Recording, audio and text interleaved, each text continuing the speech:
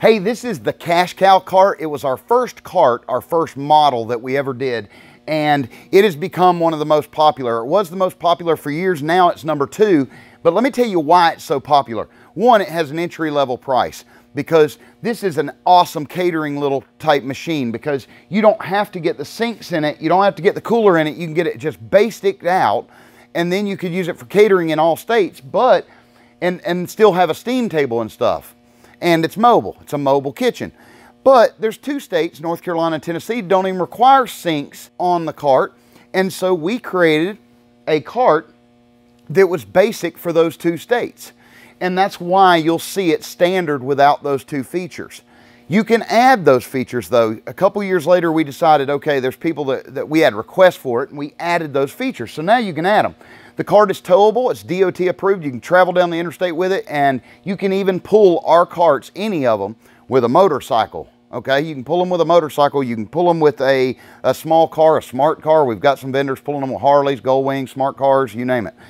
So you'll notice the tail lights, turn lights, stop lights on the bottom. You'll also notice that they have two control valves. A lot of manufacturers only put one burner under the steam table. There's two reasons they do that. One, it saves a lot of money. Two, um, it, it's cheaper. Okay, it saves a lot of money, but it's cheaper and they don't need to if they do a shallow pan. That's the reason number two. A lot of manufacturers will use a shallow steam pan instead of a deep one like this. So you'd have to use half a depth pan like this instead of this deep pan.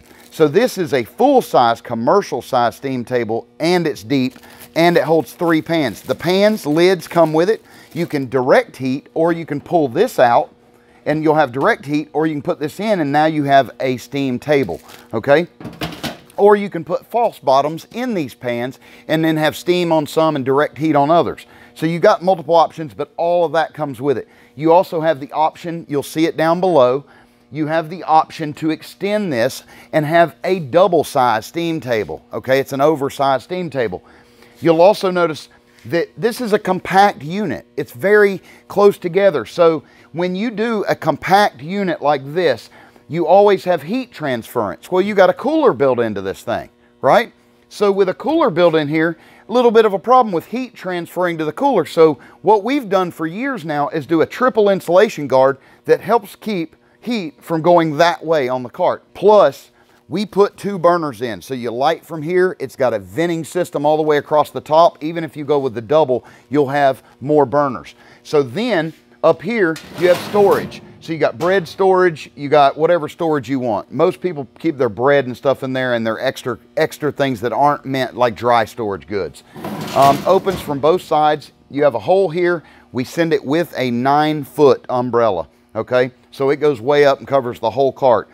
The cooler, you put your condiments in, you put your, your extra meat in. It's not where you keep your drinks. A lot of people get confused and they call me and go, Ben, how many drinks can I get in there? Why would you put drinks in there? You'd never be able to hold your drinks and your hot dogs and everything else. So you put your stuff here so it's easily accessible and you put your coolers on the side. I've got some free training videos above in that here at the site. So if you go to the other side of this real quick, um, you've got this one is set up with a four sink system. You have an option if you opt for the cooler sink system, you will get the option of one, two, three, or four sinks. If it's one sink, it's a bigger sink. Two sinks, it's two big sinks. If it's four, it's the smaller sink. So you got a hand wash, wash, rinse, and sanitize sink. And you can even do a splash guard, which is an option on here, and a higher faucet so that still spins all the way around. This customer ordered this with the four sinks and the hot water heater. So you've got the water heater on demand system. And then underneath, I'll spin this around a little bit for you. Underneath, you have your storage. So you've got your, your water tanks, okay? You've got room for two, two complete propane bottles that are 20 pound propane bottles like you'd use at your backyard grill, okay? So you've got room for both of those. On the front is your full setup DOT approved chains, two chains one and seven eighths inch ball coupler.